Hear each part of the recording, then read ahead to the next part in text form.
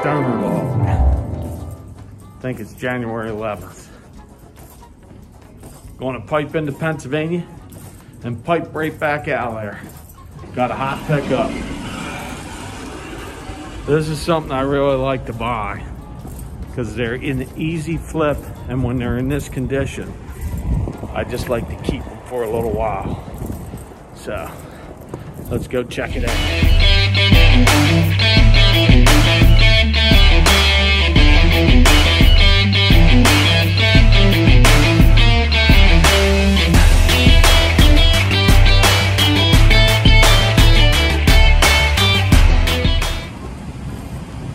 Timeout. I don't even know what stinking floor I'm parked on. It sucks being old. Oh, you see the box and you know what's in there, but if you see the shape this thing is in, this is minty.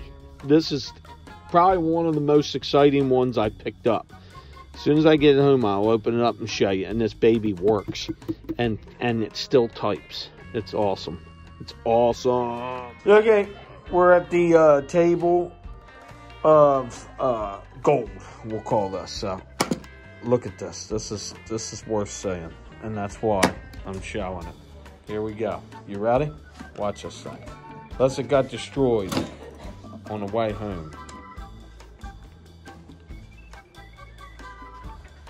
This, if you collect or have anything to do with typewriters, this will make you wiggle. This is a stinking beauty. Look at the shape of this thing. I'm saying mint. Look at it. This pops, man. Look at the keyboard. This is very desirable and especially in this type of shape. I mean, holy smokes. You're just not going to find them like this. This is probably the best looking one I've ever brought home.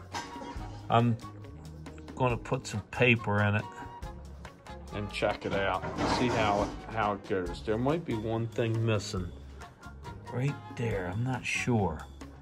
Other than that, that's a stinking piece of art.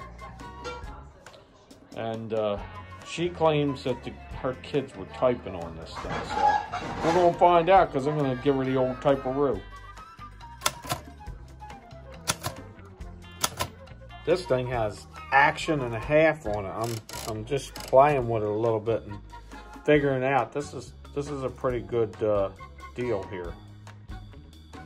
Very very pleased with overall this whole this whole bad boy. This is a Remington 5. It's the Ran.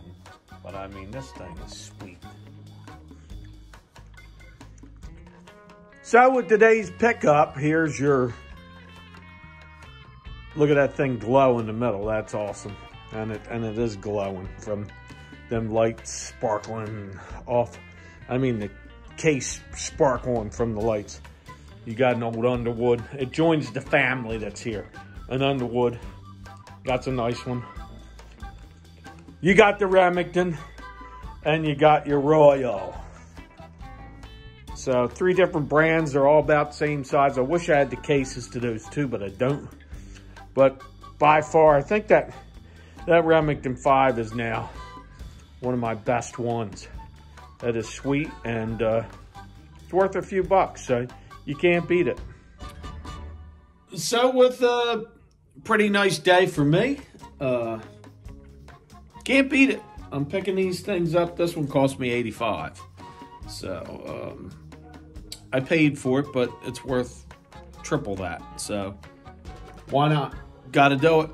I'll keep it for a while, show it off a little bit, then somebody else will enjoy it because uh, you're not going to find them in that nice shape. They're hard.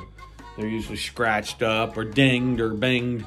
There's one little piece missing on that, and that's probably like a $20 piece you could find on eBay itself. So I lined it up against a few others that I have lying around the house, and uh, it's sweet. So this is my latest pickup. Uh, I'm in a good area to pick them up, right outside of Philly. I'm, I'm knocking home runs out of the park and, and getting these, the uh, Chester counties and the Delaware counties, right outside of Philly. So you see them. uh, happy. So I'm Harry Humstone. This is my latest pickup, the Remington 5. Till the next time, I say later. One thing I must say, it is awful nipply out today. Nipply, word of the week.